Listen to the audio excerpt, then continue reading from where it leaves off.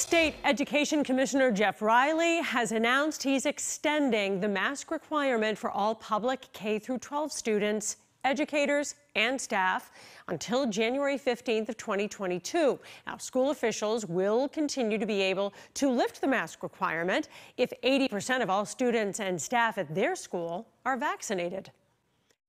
To the corona